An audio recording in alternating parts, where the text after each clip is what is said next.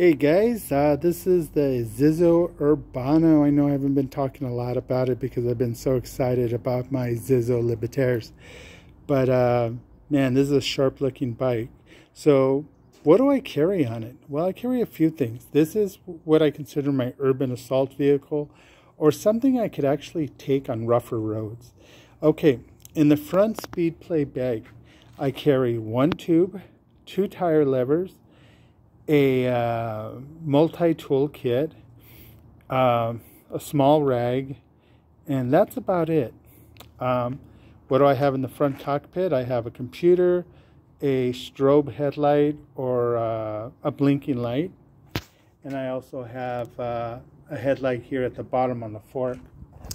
Water bottle and cage, Lezyne pump. In the rear bag, I have another tube, but this one is a uh, slime tube, so it's a self-sealing tube. Lezyne uh, rear light, one tire lever, a chuck, and a uh, 16 gauge um, air canister, just in case. You guys know it has clipless pedals. It has beautiful GT tires on it, GT gum walls. And this bike has taken a beating. Um, and the saddle's a very old uh, Fizik saddle from an old mount. I believe it was an old Cannondale, like an M200, M300, way back in the day. I think it was like 89 or 90. So uh, that saddle's gone through a lot. Uh, overall, the bike's a ton of fun. Um, again, this is a bike I don't fold. It takes a beating out on the road, so uh, I don't want to unfold it.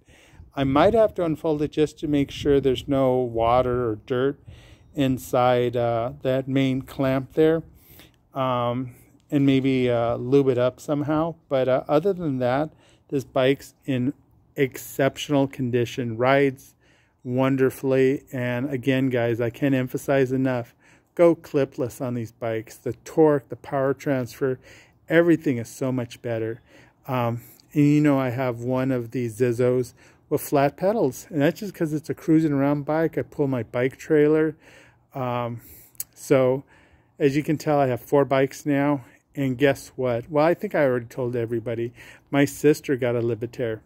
All built up, ready to go. Left everything on it except for the reflector on the handlebar and the reflector on the seat post. I actually put lights on it, but I did leave the reflectors on the wheels and she's the type of person, when she goes riding, she doesn't stop at stop signs or lights, unfortunately.